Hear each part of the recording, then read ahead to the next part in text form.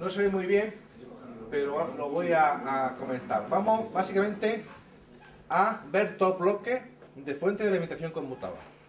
Un primer bloque donde vamos a ver, vamos a repasar más bien, puesto que esto se ha visto ya en cursos anteriores, lo que es el funcionamiento básico y las topologías básicas de eh, fuentes conmutadas.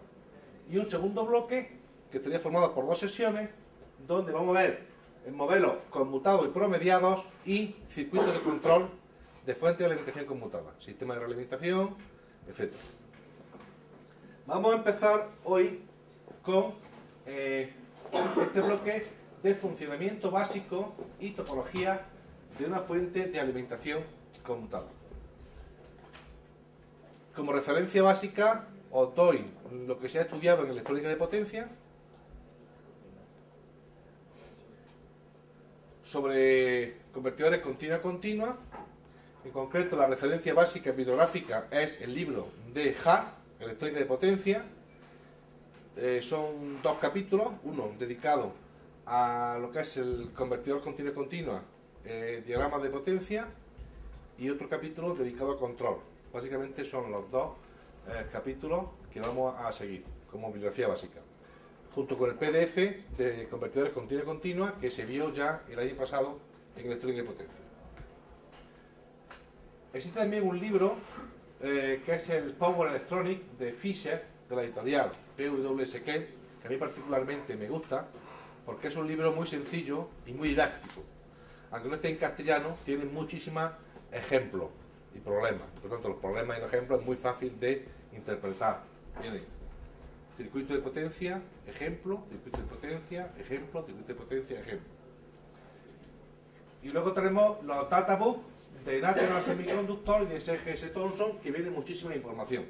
Como ampliación, pues eh, tenemos algunos libros en biblioteca, en concreto hay uno aquí de la editorial Marcel eh, Decker para ampliación, que es el Power Switching Converter, que trata sobre circuito de potencia y simulación con PSPI de circuito de potencia. hemos visto las fuentes de alimentación lineales. Estáis haciendo una práctica sobre fuentes de alimentación lineales. En la fuente de alimentación lineal, el elemento de paso es un transistor que trabaja en modo lineal. ¿Qué significa? Que conduce más o menos, pero siempre está conduciendo. Esto tiene una ventaja y es que ante cualquier variación que se pueda provocar en la carga de tensión o corriente, puede reaccionar automáticamente en un tiempo prácticamente mínimo, corrigiendo dicha, variación, puesto que está siempre conduciendo el transistor de paso. El inconveniente que tiene es que la disipación de potencia puede ser elevada. Hemos explicado ya en práctica, si por ejemplo imaginaros que tenemos una tensión de entrada de 20 voltios y queremos tener 5 voltios a la salida con un amperaje, por ejemplo, máximo de 2 amperios, pues tendríamos que estaría disipando el transistor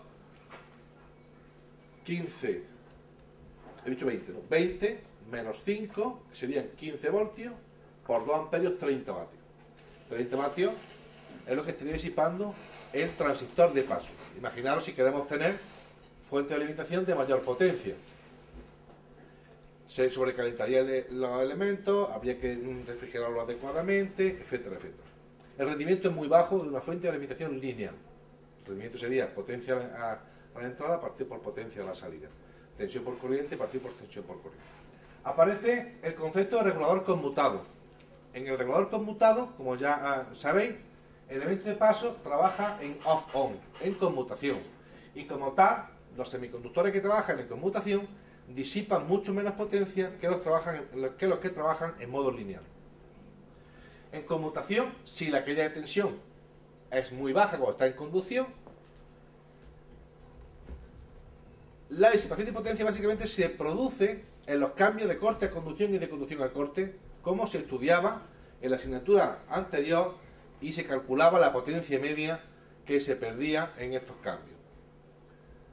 Por tanto, se pueden obtener mayores potencias con menos pérdidas y mayor rendimiento. Prácticamente la mayoría de las fuentes de alimentación que incorporan los aparatos electrónicos que estáis acostumbrados a ver son fuentes de alimentación conmutadas una, fuente de alimentación de un, de, una, de un ordenador es una fuente de alimentación conmutada. Tiene varias salidas para alimentar la diferentes circuiterías, pero es conmutada. La mayoría, por ejemplo, de las fuentes de alimentación de los laboratorios son fuentes lineales, porque son mucho más precisas ¿eh? que una fuente conmutada. Aunque las fuentes conmutadas están desplazando a la fuente lineal. Cada una tiene su ventaja y tiene su inconveniente. Aquí tenéis lo que sería el funcionamiento básico de un regulador conmutado. Lo he obtenido de la dirección esta IPES, que tiene aplicación en Java, de electrónica de potencia, que yo me parece que lo he comentado alguna vez anteriormente. Poniendo en Google IPES, potencia, rápidamente accedemos al laboratorio virtual del laboratorio de potencia, que es una dirección que tiene muchísima aplicación. En concreto vemos cómo sería el valor de la tensión media que se obtendría, ¿eh? en este caso, eh, con una conmutación y un ciclo de trabajo de 70%, o sea, de 0,7. Si la tensión de entrada es US1, la salida es 0,7 por US1, o sea, el 70% de la tensión máxima. Vemos que variando el ciclo de trabajo, en este caso 32, 0,32 por US1, disminuiría el valor de la tensión media. Ya sabíamos que la tensión de salida es ciclo de trabajo por tensión de entrada. ¿De acuerdo? La tensión de salida es ciclo de trabajo por tensión de entrada. No tenemos más que calcular el valor medio de esta área, que es un rectángulo, base por altura, teón por tensión de entrada, es igual a esta área que vemos aquí, tensión media por periodo. A partir de aquí se despeja la tensión de salida y se obtiene directamente que la tensión media de salida es el ciclo de trabajo por la tensión de entrada. El ciclo de trabajo T partido por T y que varía entre 0 y 1. Como máximo en este caso la tensión de salida es igual a la tensión U1. ¿Vale? Esto sería el diagrama general de bloques realimentado además de una fuente de alimentación conmutada por circuito de potencia y control, donde vemos una fuente primaria que sería la propia red puede ser, pues ser también una batería, si queremos, estamos alimentando con batería, no, tiene por qué ser la red, imaginamos que queremos alimentar en un móvil o cualquier dispositivo electrónico. Utilizamos como fuente primaria una batería. Que es la propia red, portificamos la red, se transforma, aunque las fuentes conmutadas pueden no utilizar transformador de entrada, lo que pasa es que en este caso tenemos un problema de aislamiento, y el elemento de, de control un transistor en este caso, que normalmente es un MOSFET, transistor, en este caso un bipolar se ha puesto aquí, pero el bipolar no se utiliza en fuente conmutador. Un filtro, un circuito DC, normalmente, la carga. Luego un circuito de control que está compuesto, como vemos aquí, por una muestra de la, señal de salida, una referencia y un comparador que ataca directamente al control. En este caso que es muy parecido a lo que sería el sistema realimentado de una fuente de alimentación lineal, como hemos visto en clase. Aquí tenemos una gráfica donde vemos la comparación de la señal referencia, puede ser en este caso variable, puede ser continua, o en este caso señal rampa, con la señal de muestra. Y vemos cómo sería el ciclo de trabajo, en este caso el TEO, que es el tiempo que estaría conduciendo el transistor de paso, en función de la comparación de esos dos valores. Es mayor o menor, haciendo que el valor de la tensión de salida aumente o disminuya. Antes, cuando estábamos trabajando con fuentes lineales, el hecho de atacar una tensión, una corriente mayor o menor, la base del transistor, pues hacía que la intensidad fuera mayor o menor, que la tensión colector-emisor cayera más o menos, y por tanto se corregía la variación de la tensión de salida. Aquí en este caso el ciclo de trabajo el que corrige esta variación de salida aplicado directamente al transistor. Tenemos una señal que es cuadrada o rectangular, es una señal continua, pulsante, y necesitamos obtener el valor medio de dicha señal. Entonces, para eso utilizamos un filtro que elimine la alta frecuencia y deje pasar solo la baja frecuencia. Idealmente, la componente continua, ¿verdad? El filtro que vamos a utilizar es un filtro bobina condensador. ¿eh? Es el filtro que se utiliza en el caso de fuentes conmutadas. filtro sencillo, es un sistema de segundo orden, aparece la función de transferencia un denominador de segundo orden, un doble polo, un S cuadrado, y es un filtro de LC la tensión que obtenemos es este valor medio, que es la señal filtrada. ¿Acordáis en el caso de un rectificador de doble onda, que utilizábamos un filtro LC, cuyo valor medio era, era 2 sube máxima partido por pi, y era el valor que tendría a obtenerse en el caso de que utilizáramos un filtro LC. En el caso de que utilizáramos un condensador, no, porque el condensador lo que tiende a obtener es el valor de pico de la señal rectificada, en el caso de, del rectificador, ¿os acordáis de eso, verdad? En este caso es un filtro LC que obtiene el valor medio. Y un diodo de libre circulación que lo que permite es que circule la energía, la corriente reactiva almacenada, en este caso en la bobina. Cuando se abre el elemento de paso, tengo que dotar de un camino para que se libere la energía que se ha almacenado en esa bobina. Se llama diodo de libre circulación. Si representamos eh, lo que sería una señal, en este caso rectangular, una anchura de pulso variable, anchura de pulso dado por ciclo de trabajo por T, sería Teón, Teón es igual a ciclo de trabajo por T, puesto que el ciclo de trabajo es el Teón partido por T.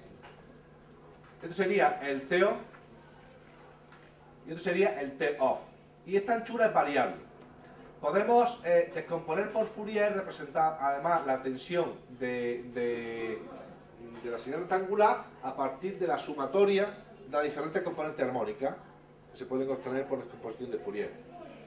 Esta sería la fórmula donde aparece aquí la componente continua, que es ciclo de trabajo por tensión de entrada, que es la señal filtrada, y un conjunto de señales, aquí, ¿eh? que conforman la señal, en este caso, eh, rectangular.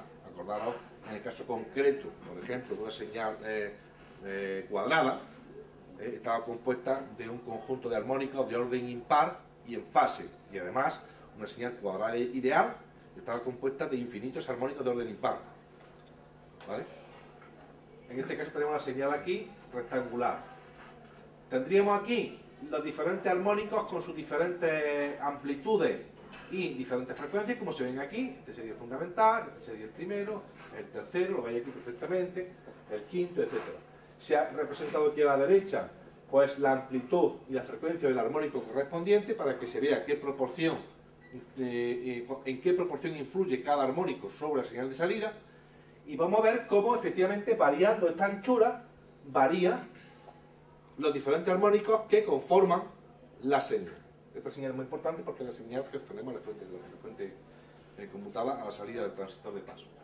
Esto se ha obtenido también del laboratorio IPES, que he dicho antes, que en internet perfectamente se ve como variando, eh, a través de este punto que tenemos aquí, la anchura, se ve cómo varía las diferentes componentes armónicas de la señal. De hecho, aquí os voy a poner una otra señal con menos anchura, con menos TEO y más T-off. Vemos cómo ha disminuido las componentes armónicas, cambian, que conforman la señal de salida, ¿verdad? Vemos aquí dichos componentes. Bien. ¿Qué tengo yo que hacer? Pues tengo que eliminar todas las componentes que no sean la continua. ¿Para qué? Para filtrar dicha señal, quedarme solo con la componente continua, como he dicho, con un filtro LC.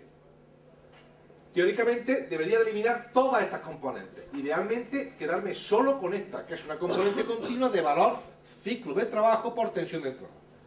Hemos dicho que lo hacemos con un filtro LC. Fijaros aquí que el primer armónico que aparecería en el desarrollo de Fourier, el primer armónico es de orden Fs, siendo Fs la frecuencia de conmutación de la fuente conmutada. O sea, si la fuente conmutada trabaja a 40 kHz, el primer armónico que aparece en la descomposición de Fourier es de valor 40 eh, kHz.